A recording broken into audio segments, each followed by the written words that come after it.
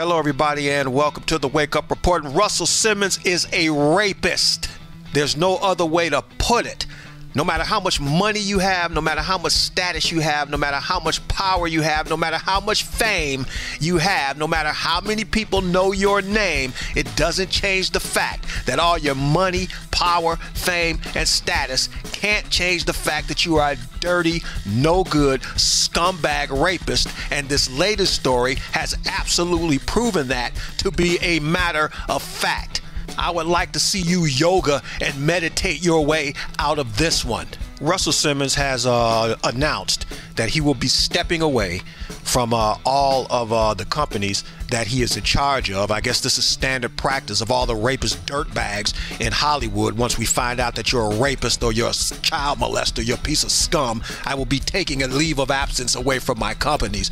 Uh, anyway, he stepped away from his companies, uh, and HBO has uh, removed his name from the uh, Def Jam comedy series that he started after uh, allegation has now surfaced that Russell Simmons indeed forced himself upon uh, Jenny Lumet Jenny Lumet, for those of you who don't know, is the daughter of uh, director and writer Sidney Lumet, one of the most distinguished and respected writers and directors in uh, motion pictures, unless God forbid we find out Sidney Lumet.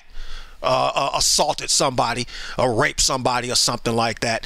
Miss Lumet has come forward and said that uh, back in 1991, Russell Simmons forced himself on her sexually to the point to where he locked her inside of a limousine, refused to let her out, uh, uh, refused to take her to her own apartment, took her to his apartment, and proceeded to rape her. And uh, while Russell Simmons, uh, in the previous story, uh, had the um, uh, New York sex con- sexual consent laws on his side, he ain't got nothing on his side this time. She's got him dead to rights. So, Ron, I'm glad you became a reverend because you got your hands full with your brother, apparently. Jenny Lumet is the latest in a long, long, God, how long is the line of uh, women that have uh, begun to come forward and um, voice their um, accusations of sexual assault by uh, pretty much uh, most of male Hollywood, it would seem. Uh, most of these women have all had horror stories uh, recounting uh, uh, men who have forced themselves upon them, forced them into sexual favors in order for jobs and job security and things like that. just all kinds of stuff, man. We just, you, I guess, I guess we've yet to scratch the surface on how many sleaze bags and scum buckets there are in Hollywood. A lot of them we have come to know and respect as actors and producers and, and, and things like that. Russell Simmons being one of them, founder of, uh, of Def Jam Music, uh, the man who was responsible for bringing hip hop to the masses, is now responsible for pretty much raping the masses as well. And uh, why is this latest allegation particularly damning and damaging to Russell Simmons? Well, on November 22nd of 2017, Russell Simmons wrote, I have never committed any acts of aggression or violence in my life. I would never knowingly cause fear or harm to anyone. That was in response to the uh, the model who had claimed when she was 17 years old, Russell Simmons forced her into oral sex while Brett Ratner watched in a hotel room and of course, uh, New York's uh, uh, age of consent laws is pretty much what saved him because uh, at 17 years old, he knew how to pick his victims uh, wisely. So uh, at 17, he claimed it was consensual. She says it wasn't. So of course, that whole back and forth is so um, is so much gray area in there. You know, uh, you know, never mind the fact that was a 17 year old doing hanging out with a 32 year old man, you know, at the time. But there was so much gray area in that you didn't know who to believe. Um, all I know is you had sex with a 17 year old girl, or you made her have oral sex with you, and that in of itself was absolutely disgusting, and it made you nothing more than a child molester. Well, on uh, November the 30th of 2017, Ms. Lumet wrote this. I got into the car with you the driver began to drive. I assumed you knew where I lived because you had sent me 250 balloons, but I gave the driver my address on 19th Street and 2nd Avenue. You said to the driver, no. I didn't understand, so I said, Russell. I said again to the driver, 19th Street. Again, you said to the driver, no. Then the car doors locked. It was loud. The noise made me jump. I didn't recognize you at that moment. It was disorienting. It was disorienting. I say it twice now because you said no twice then. I couldn't open the doors. I couldn't open the windows. The car was moving. The driver did not stop. He did not take me to 19th Street. He took me to your apartment. I didn't try to kick the windows out. I didn't punch or kick. I didn't say, What are you doing? My voice left me after the second no. I saw no one else. I recall you were behind me. I was still hoping the Russell I knew would reappear as I could not recognize the man moving me deeper into the apartment. The man who had said no to his driver twice. You moved me into a bedroom. I said, wait. You said nothing. I made the trade in my mind. I thought, just keep calm and you'll get home. Maybe another person would have thought differently or not made the trade. It was dark, but not pitch dark. You closed the door. At that point, I simply did what I was told. There was penetration.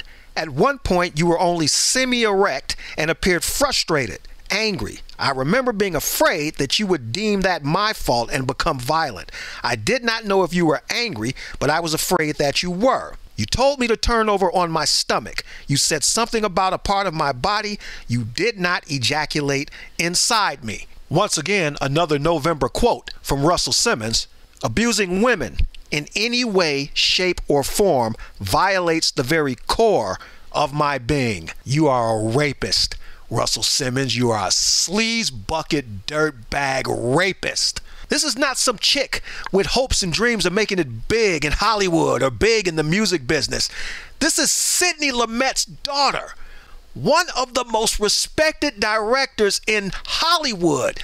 The daughter of Sidney Lumet. You raped the daughter of. Don't you have daughters, Russell Simmons?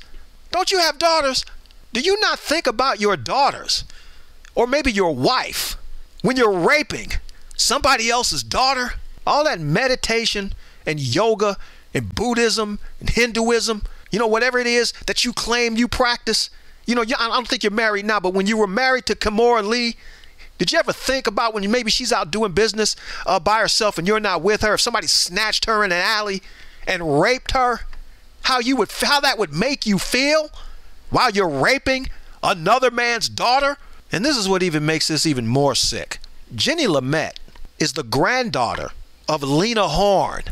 You raped the granddaughter of Lena Horne.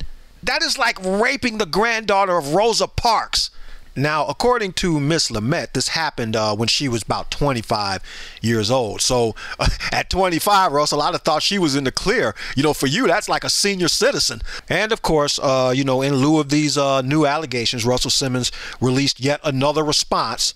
Um, you know, I have been informed with great anguish of Jenny Lumet's recollection about our night together. It wasn't her night together. Uh, uh, it was your night in 1991. I know Jenny and her family and have seen her several times over the years. You know, hey, how you doing, Jenny? How was that rape that happened back in '91?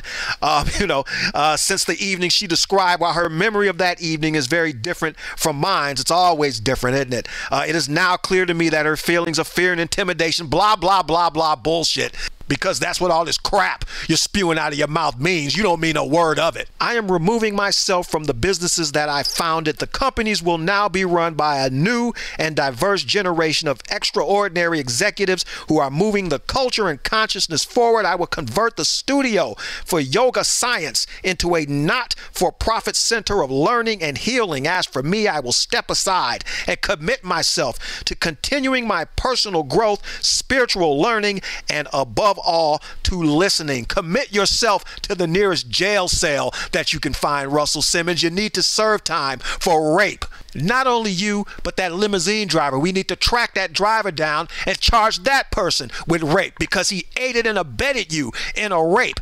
Everybody who has been connected to raping women in Hollywood should be tried and sentenced and sent to jail for rape. There should be no statute of limitations on rape. And here's where you're really full of bullshit, uh, Russell Simmons. You're saying that you're going to step aside and commit yourself to continuing your personal growth, your spiritual learning, and your listening. All right. Well, maybe you need to listen to yourself. And you know that you raped that girl. You know that you raped a bunch of girls over the course of your career. So if you want to do the right thing, you know that you should serve some jail time. You know that you should go to jail for what you did. If you if for what you did, if you want to absolve yourself of all of this rape baggage that has been leveled against you and it's true, commit yourself to a trial, commit yourself to a jury, let them decide what goes on and what's going to go on with Russell Simmons, and then you agree to whatever it is that they're going to do because that is part of spiritual growth. It's recognizing your sin, living up to your sin, and paying for your sin. Pay for your sins, you rapist. This is KTM, and the Wake Up Report saying, think a little bit. It will do wonders for you.